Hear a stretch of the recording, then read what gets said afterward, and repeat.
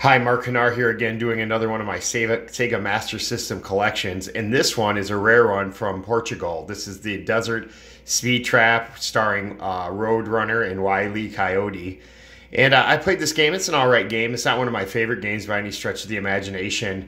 You kind of race around and uh, try to get some sort of like symbols like stars or whatnot. And and, and each each stage is really similar like that. Now the Portugal version here, you can see the box is uh, it's a, actually a, a, Tectoy box. Now the Portugal stuff's kind of rare. You can look here at all this type of uh, stuff here. You can look on the back.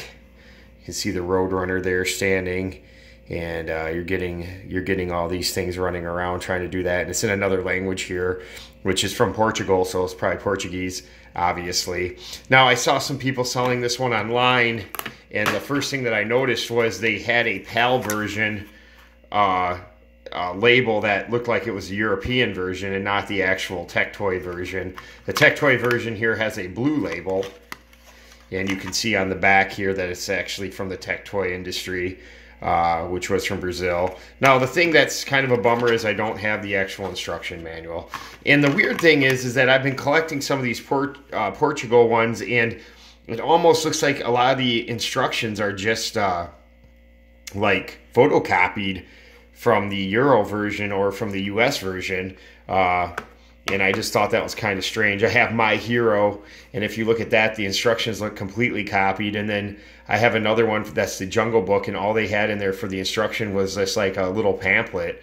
So I'm not really sure exactly what they were doing, but it's kind of it kind of looks like it was like a re-release for for that area, and it makes it kind of rare. So uh, I put this online. I can't remember what I posted it for. Maybe like 50 or 60 bucks, maybe.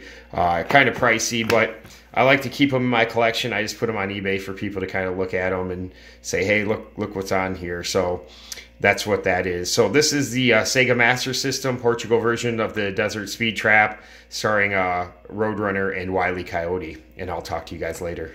Bye.